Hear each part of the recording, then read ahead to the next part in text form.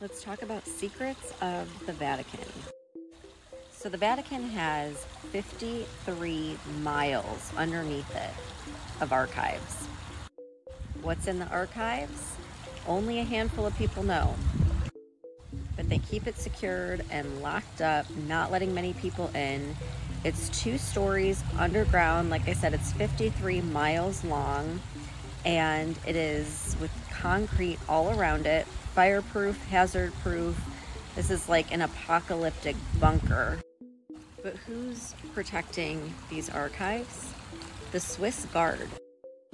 That's right, the Swiss Guard has been the security of the Vatican since the 1500s. I never knew that, did you? Requirements to be one of these guards in the Vatican is that you must be Catholic, single males with Swiss citizenship. Interesting. I mean, what is it about Switzerland? You have the home of CERN, the World Economic Forum, the WTO, the World Health Organization, ILO, FIFA, and the UN.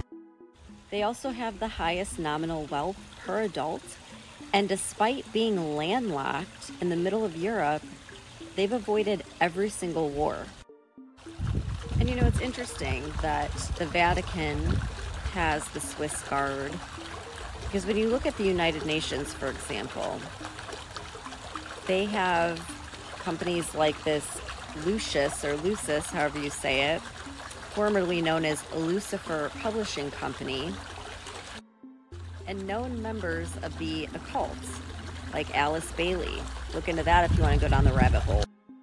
You have CERN with the Shiva statue, the destroyer of worlds.